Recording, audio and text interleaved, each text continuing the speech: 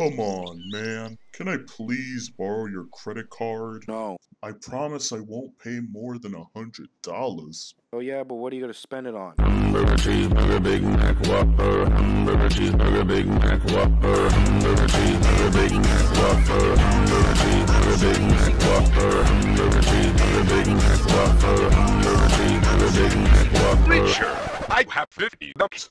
You want it? Yes, 50 bucks in my hand. Mm, sorry, but I can't give it as long as you don't have credit cards, bitch.